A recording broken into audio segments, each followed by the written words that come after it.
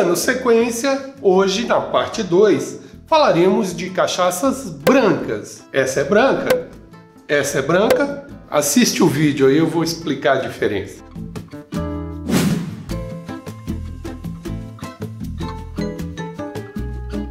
Sou Norberto Carvalho e novamente estamos aqui no Bebericando Oficial. Vamos para a segunda parte do qual é a melhor cachaça. Vai lá, gente, já se inscreve no canal, já dá um joinha, ativa o sininho, avisa os amigos e vamos junto. Como nós dissemos, a cachaça, gente, primeira coisa, selo.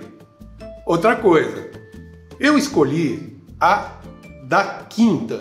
É uma cachaça da região aqui do Carmo, região serrana do Rio de Janeiro. Ó, ela tá lacrada, tá? Eu vou tirar o lacre agora. E o que eu quero lembrar, que eu acho muito interessante, derrubando tabus e preconceitos, quem está à frente dessa cachaça, da produção dessa cachaça, é a Kátia, uma mulher. Aliás, temos também a Cris da Thier, que também está bem classificada. Então, gente, acabou o tabu, acabou, é homem, é mulher. O importante é o resultado. Você tem. Todo mundo pode ser cachaceiro. Todo mundo pode tomar cachaça, pode ser cachaceiro. E, gente, muito trabalho e os resultados aparecendo. Vamos falar da quinta. Como eu expliquei, sem nenhuma sujidade na garrafa, tudo limpinho. Gente, é um cheiro de cana maravilhoso. Parece que você está no meio de um canavial. Vale a pena conhecer. Daí a gente pega um copinho, coloca um pouquinho, vê a oleosidade desde 1923. Tá? Olha quanto tempo que ele faz cachaça. E foi passando. Tá? Agora está na mão da Kátia, que é a filha. Continua fazendo com uma excelente qualidade. Essa aqui são 500 ml, 42% de volume. Já vem escrita que é da fazenda da Quinta, Carmo, Rio de Janeiro, Brasil, e que ficou em tonéis de aço inox. Deixou ela branquinha, purinha. Por que, que a gente fala dela ter ficado em aço inox? E essa aqui? Essa aqui também é branca, também está no ranking, mas eu não vou falar dela hoje, porque essa daqui foi armazenada em tonéis de amendoim. E ficou branca? Ficou, gente, porque tem madeira que não passa cor. Interessante, né?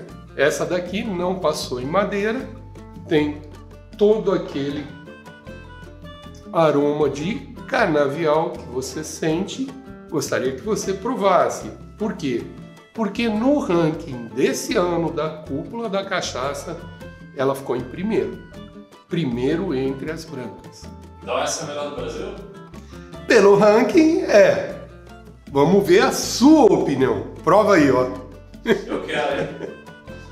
A partir do momento que a gente fala de cachaça boa, o que vai valer mesmo é a tua opinião a respeito dela. Tá? O que vale mesmo para melhor cachaça é a que você mais gosta. Aliás, o nome da quinta, sabe? Em Portugal é muito comum quando tem um terreno com uma casa. É chamado de quinta. E os portugueses chamaram Fazenda da Quinta. Em segundo lugar no ranking ficou a Pindorama, que é uma cachaça também daqui do Rio de Janeiro, do Vale do Café. O Vale do Café é uma região turística, engloba 15 municípios, especificamente a Pindorama uh, tem uma história muito legal, muito interessante. Tá? Ela foi a primeira fazenda a abandonar a mão de obra escrava antes mesmo da abolição. Dá uma olhada no site dela, vale a pena. E conheça a cachaça. Em terceiro lugar, nesse ranking ficou a Thier Prata. A Thier Prata é do sul de Minas, da cidade de Aiuruoca. Aiuruoca? É, o nome é difícil de falar, gente, mas vai lá também no site, dá uma olhada e você vai ver um ponto comum nessas cachaças: o zelo na produção, os cuidados no corte, sabe, no manuseio. Não é sorte. Elas são boas porque elas realmente são bem feitas. Vai lá conhecer. Conheça as cachaças e depois fala para mim qual que você gostou mais. No próximo vídeo nós falaremos das armazenadas, envelhecidas, que é uma outra categoria de classificação de cachaças.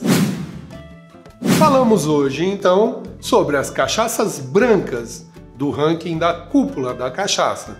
Não percam o nosso próximo vídeo quando nós falaremos das cachaças envelhecidas e armazenadas. Então, gente, Norberto Carvalho no Bebericando Oficial. Vai lá, ativa o sininho, já se inscreveu no canal, lógico, né? E dá um joinha pra gente lá. Gostei da camiseta, hein? Ah, da confraria do copo furado. Ó. Muito bom. Saúde.